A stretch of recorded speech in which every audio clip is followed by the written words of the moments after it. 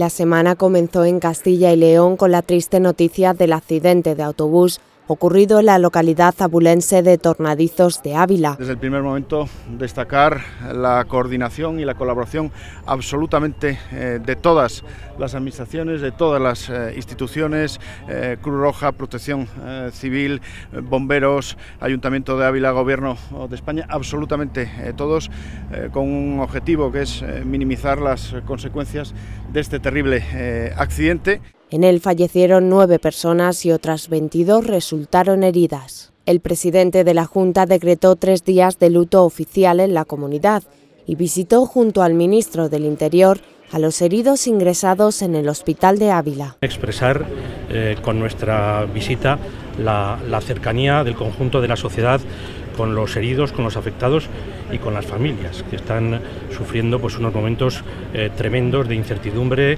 y, de dolor. Es lo que hemos querido hacer y en segundo lugar también expresar, yo lo he hecho con algunos de ellos, pero aprovecho los medios de comunicación, el agradecimiento de toda la sociedad a, eso, a ese conjunto de profesionales y de servicios públicos que desde el primer momento se han volcado en la atención y en la resolución de todo aquello a lo que evidentemente las fuerzas del hombre alcanzan en un accidente como, como este. En la agenda institucional del Gobierno autonómico de los últimos días ha destacado la presencia de la Casa Real. El martes en la Academia Básica del Aire de León, Herrera ha asistido a la entrega de los Reales Despachos de Sargento, promoción vigésimo primera. El miércoles en la localidad madrileña de Rascafría y con motivo de la declaración de Parque Nacional de la Sierra de Guadarrama, el presidente acompañado de Silvia Clemente, consejera de Agricultura y Ganadería, y Antonio Silván, consejero de Fomento y Medio Ambiente, y demás autoridades han visitado esta joya natural y paisajística, quinto parque en extensión y primero que comparten dos comunidades, Castilla y León y Madrid.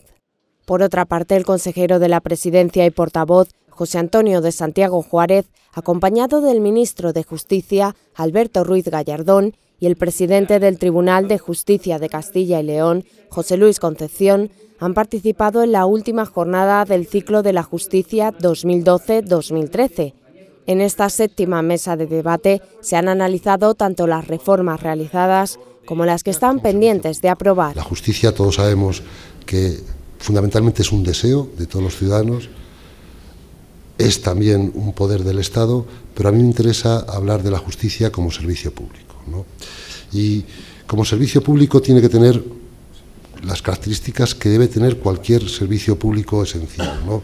Tiene que ser, tiene que tener calidad, tiene que ser eficiente, tiene que ser cercana, tiene que ser próxima, tiene que ser rápida y tiene que ser eh, accesible. Por eso es por lo que apuesta el modelo, por la flexibilidad, por una flexibilidad que va a introducir agilidad, que va a permitir una movilidad, una movilidad funcionarial y una movilidad de los propios titulares de los jueces entre las distintas sedes. El Consejo de Gobierno ha aprobado la inversión de más de 8,5 millones de euros para la realización de obras de infraestructura rural del Páramo Bajo, sector 3 de Riego en León y de la Antadilla 2 en Palencia. Estas actuaciones van a permitir facilitar la actividad diaria de los 1.400 agricultores y ganaderos de esas zonas y aumentar la superficie por parcela, lo que repercutirá en un incremento de la productividad de las explotaciones. Eh, se va a destinar algo más de 6 millones de euros a la zona del Páramo Bajo, en León, y algo más de 2 millones y medio para la zona de Palencia, para la zona de la Lantadilla 2.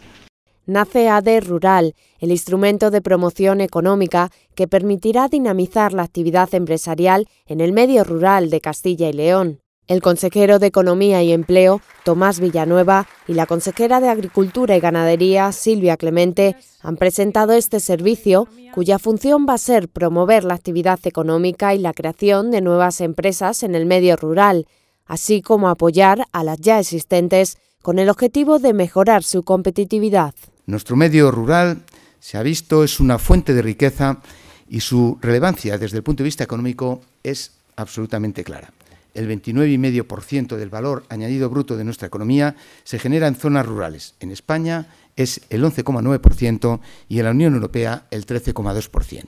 Queremos tutorizar los proyectos. Queremos llegar individualmente hasta cada emprendedor para decirle cómo tiene que hacer viable su negocio, cómo tiene que contar con financiación en mejores condiciones, cómo tiene en definitiva que hacerlo de la forma más eficiente posible. Durante la jornada de presentación también se han impartido dos ponencias y dos mesas redondas en las que se ha debatido sobre la política, financiación, oportunidades y desafíos que supone este instrumento de promoción.